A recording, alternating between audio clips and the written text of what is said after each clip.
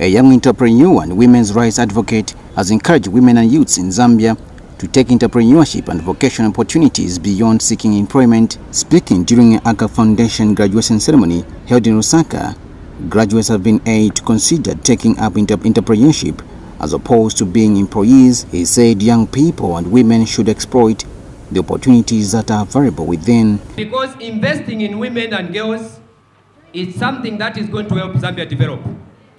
Because Zambia will never develop if women are not taking part, especially where entrepreneurship is concerned. And I've took it upon myself to do something so that we contribute to the development of Zambia. Let women, now that we are empowered with knowledge of entrepreneurship, you will achieve even more.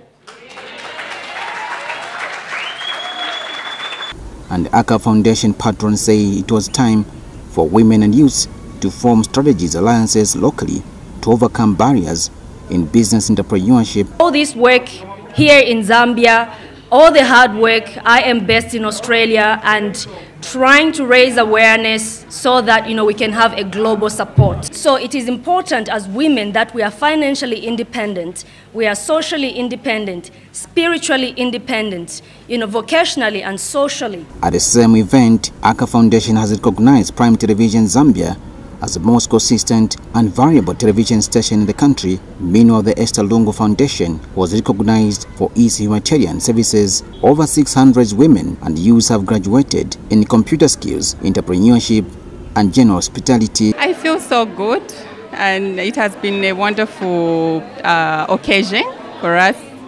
Yeah, and it means a lot.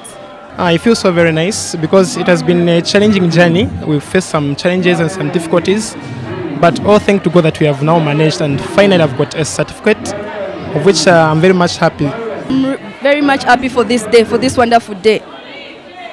I just want to encourage my youths out there. I'm very happy today and I thank God and the director for doing this to us.